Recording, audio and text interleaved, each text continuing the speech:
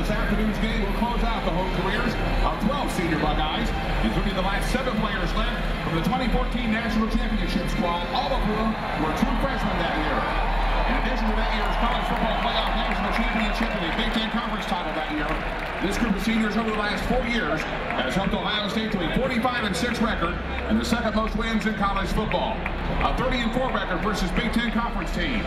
A second Big Ten championship in 2017.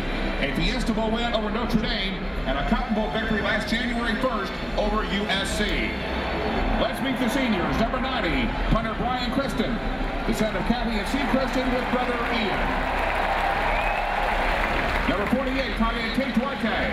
Reading him is mom Tina Duarte and twin sister Arlia. Number 96, graduated kicker in 2014 national champion Sean Nuernberger, the son of Michelle and Kyle Nuernberger with sister Kyle.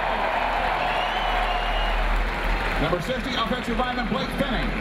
He's the son of Melissa and Eric Fenning. Number 79, national champion center Brady Taylor, the son of Susan and John Taylor. Number 66, starting offensive guard Malcolm Pridgeon. Brady Malcolm is his sister Felicia Garrison and his brother Twyron Pridgeon and girlfriend Emma Nat. Number 78, two-year starting guard and graduated national champion Demetrius Knox. He's been greeted by mom Amelia Cabot and cousin Damian Goodman.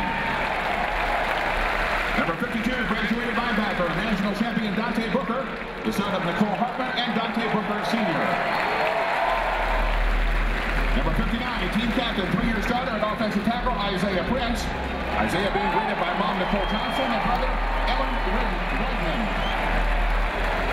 Number one, team captain and national champion wide receiver Johnnie Dixon, the son of Latoya Smith, is also being greeted by both by Billy Romero, sister Trinity Jackson, uncle Dante Smith, and brothers Tim Jackson and Sean Boone. Number 21, two-time team captain and national champion wide receiver Parris Campbell. He's been greeted by his mom, Shelly Wood, and grandfather, Sally McGowan.